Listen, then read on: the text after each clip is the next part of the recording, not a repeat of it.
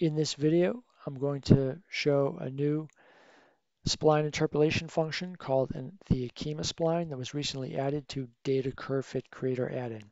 Data Curve Fit Creator add-in is an add-in for Microsoft Excel that adds curve fitting, interpolation, uh, data smoothing and noise reduction, and other data management functions to Excel. It's created by SRS1 Software LLC, and you can download it from, from www.srs1software.com. So the new spline interpolation function, as I said, is the Akima spline. And compared with a cubic spline, the Akima spline does a, in general, does a more local sort of a interpolation. So it stays tighter to the data, but it can be less smooth than the cubic spline. And we're going to show you uh, some examples of that right now. So in order to show you that, first I'm going to create some source data that we can work with. And so I'm just going to create that now. I'm going to create 10 data points. And to start off, we're going to make it just sort of a smooth curve, and then we'll change that around to see the effect on the interpolation. So this is our initial data set that we're going to be interpolating through. Let me go and create a plot so we can take a look at that. I'm going to just change that label here call it source. We know that that's the source data. And now I'm going to do the interpolation. So first thing, I'm going to get my sampling x values. Now the source data that we're using goes from 1 to 10, so I'm going to start a little bit before that and go a little bit after that to 11 and go in steps of 0.1 so we can see the behavior of the uh, spline interpolation all throughout. So first I'm going to calculate the cubic spline for this. And as you see, I have Data Curve Fit Creator add-in already installed, and it's, uh, as you can see, and to do the cubic spline interpolation, I can go to the function wizard, go to the Data Curve Fit Creator function group, choose cubic spline.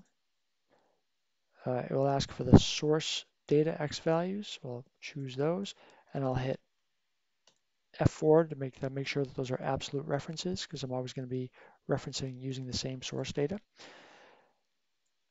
Next, I'll choose the Y values, hit F4 to get the dollar signs to make it absolute reference. And now I'll choose my uh, new X value and I'll double click to copy that down and I have my cubic spline interpolation. Let me go and just add that now to the plot. I can just uh, copy, paste special, and say uh, the x values in the first column. And I'm going to change the formatting of that to make it just a line. Okay, and I will also add a legend because we're going to be adding some more we want to be able to keep those keep those straight. So I've got my source data, cubic spline. Now I'm going to add the Akima spline.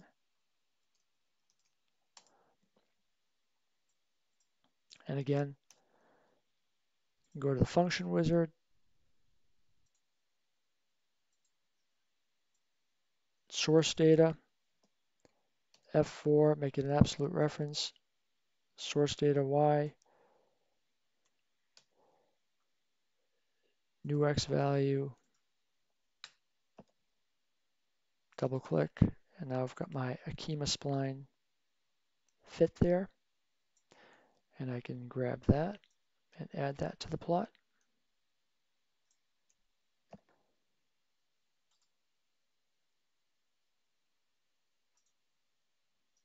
Try that one more time.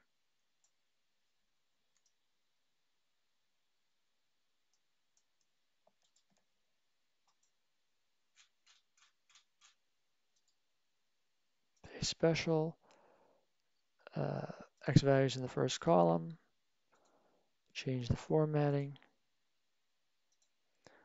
And I've got that. I'm going to add one more as well.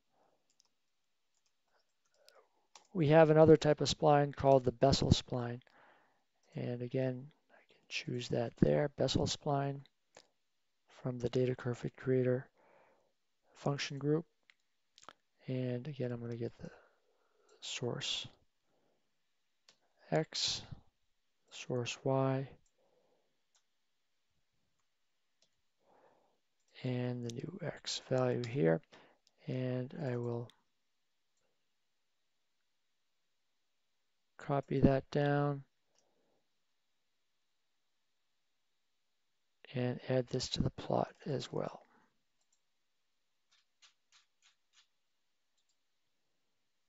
Paste special X values in first column and change the formatting. Okay, so now I've got my three types of spline interpolation. Now for this initial data set, the initial data set that I made is pretty smooth. So they all kind of go are, are almost on top of each other. The three interpolations are all pretty similar. But if I change the data set around, let's say I make a big spike in the middle of it, then you'll see really the differences between the uh, types of spline interpolations. So I'm going to take the middle value and I'm going to make that spike up to 100. And now you can see the differences in the behavior between the three different types of splines. You notice down here, the, the cubic spline, this has a bunch of overshoot, and you see this these sort of oscillations that, that last for a couple of uh, points throughout. The, uh, the in gray, the Akima spline stays much tighter to the data, and you don't really see uh, beyond that uh, spiked point a whole lot of uh, a change there compared with the cubic spline. And the Bessel spline is sort of in between.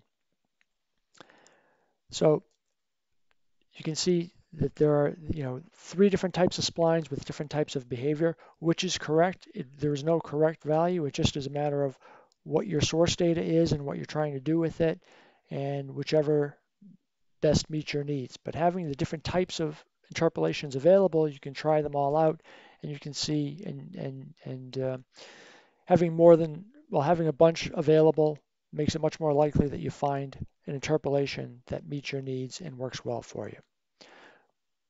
So uh, one last thing that I think we can do is let's just zoom in on the uh, on at this point so we can see a little bit clearer the behavior of the three different types of splines. And again, just zoomed in on this point. Again, you see the Akima spline has almost almost no overshoot, just goes right back from that uh, from that spiked point. The cubic spline has a lot of overshoot, and the Bessel spline is sort of in between. So that's what we wanted to uh, demonstrate for you.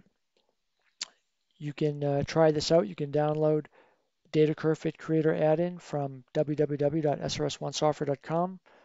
It comes with a fully functional 30-day trial, so you can try it out. And uh, we hope you enjoy it. Thank you very much.